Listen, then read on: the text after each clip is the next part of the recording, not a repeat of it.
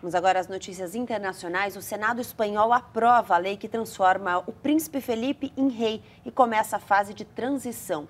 Hoje, o rei Juan Carlos assina sua última lei, que é a própria abdicação. Amanhã, em uma cerimônia solene, o rei passa a coroa para o filho, que agora vai ser Felipe VI. Apesar da pressão de setores republicanos por um referendo sobre a continuação da monarquia, a lei foi aprovada por 90% dos senadores espanhóis.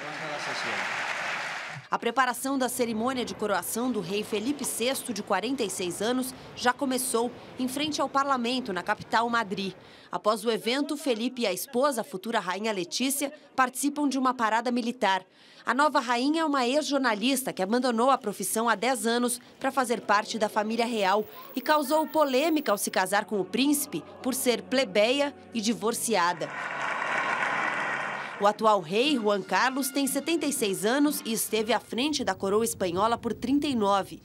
Chegou ao trono em novembro de 1975 por nomeação do ditador Francisco Franco. Ele teve um papel importante na transição da ditadura para a democracia. Em 1981, foi ele quem impediu que os militares dessem um novo golpe de Estado para retomar o governo autoritário. Mas, recentemente, a imagem que preponderou foi a de um rei envolvido em escândalos e com baixa popularidade entre a população espanhola. Juan Carlos foi criticado por gastar milhares de euros em uma viagem para caçar elefantes, enquanto a Espanha estava mergulhada na crise com recordes de desemprego. Ainda por cima, o rei, na ocasião, era presidente de honra do WWF, organização ambientalista. O safari virou manchete no mundo inteiro e abriu as portas às críticas, às quais até então o monarca parecia imune. As manchas à reputação da família real pioraram com os escândalos de corrupção envolvendo a filha de Juan Carlos, a infanta Cristina, e o marido dela.